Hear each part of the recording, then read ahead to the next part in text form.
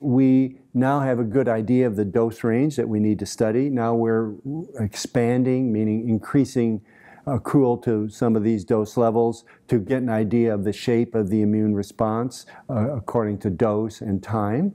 Um, so that's where we are with phase 1A, but we do have an idea of the doses that we should study, so we're opening it up to phase 1B. The fundamental difference between phase 1A and 1B is the population of people who will be enrolling in the trial. Phase 1 consists of patients who have a history of triple negative breast cancer but are at risk for recurrence. Phase 1B will be patients who have no history of breast cancer but who are at risk to develop it. And that risk is sufficiently high that they often elect to undergo prophylactic or preventive mastectomy. And it's these patients who will be entered into phase 1B.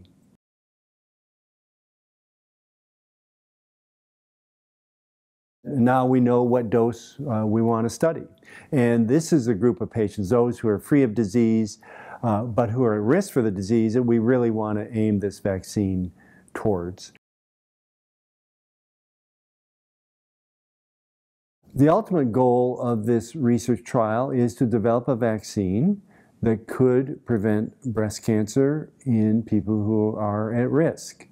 Uh, it's a lofty goal. Um, but that would be um, what we would hope for. There are a lot of steps to go through before that. There are a lot of ways this may not work, uh, but you know, it's one of those journeys of a thousand steps to, that has to start. So we're taking the first steps.